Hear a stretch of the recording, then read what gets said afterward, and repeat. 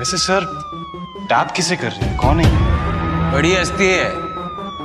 हमारा नाम शिव प्रकाश शुक्ला है। मंत्री जी प्रणाम शुक्ला बोल रहे हैं। व्यवस्था कीजिए वरना कर देंगे फ़ेमस। पूरा शहर इनके कब्जे में है।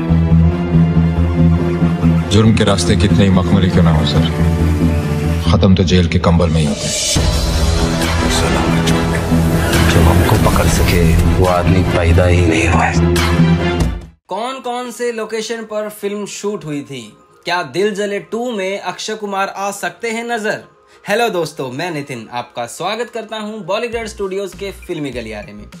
साल 1996 में आई दिल जले अजय देवगन को रातों रात एंटी हीरो का बादशाह बना दिया। वहीं सोनाली बेंद्रे के लिए भी ये फ़िल्म उनके करियर का टर्निंग पॉइंट रही।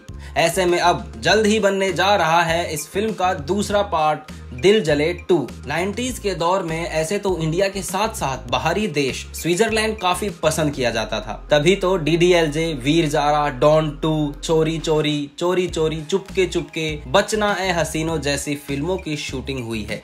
ऐसे में दिल जले की बात करें तो दिल जले में स्विट्जरलैंड के अलावा फ़िल्म में इंडिया की लोकेशन देखने को मिली, जिसमें फ़िल्म का गाना, किसी से पूछो उस लड़की का नाम में लोकेशन दिखाई गई है, वो तमिलनाडु में शूट हुआ था। वहीं शाखा की गैंग का अड्डा, जो फ़िल्म में हमें नज़र आया था, वो असल में पटियाला की एक जगह, मुबारक किला है। ऐसे ही फ़िल्म में कर्नाटक के बोटेनिकल गार्डन की भी लोकेशंस देखने को मिली थी, और फ़िल्म का एक और बेहतरीन गाना, मेरा मुल्क, मेरा देश। इस गाने में नज़र आई लोकेशन पेरियाम में शूट हुई थी। ऐसे में जहाँ जल्द ही दिल जले टू बनने जा रही है फ़िल्म में हमें वापस से स्विट्जरलैंड और मेरा मुल्क, मेरा देश गाने में यूज़ हुई लोकेशन देखने के चांसेस ज़्यादा हैं। क्योंकि बॉलीवुड में स्विट्जरलैंड की लोकेशन का क्रेज अभी तक खत्म नहीं हुआ है।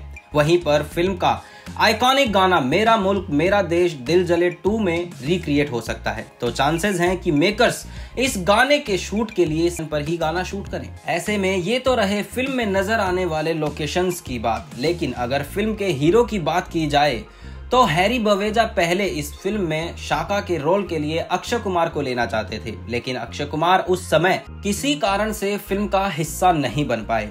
तो ऐसे में दिल जले, जो कि एक रोमांटिक और थ्रिलर से भरी फ़िल्म थी, ऐसे में आने वाली दिल जले टू के लिए अक्षय कुमार काफ़ी फिट बैठते हैं। और फिर चाहे तीस की उम्र हो या पचास की, आज भी हमारे खिलाड़ी कुमार उतने ही यंग और डैशिंग नज़र आते हैं, जितना 90s के दौर में आते थे।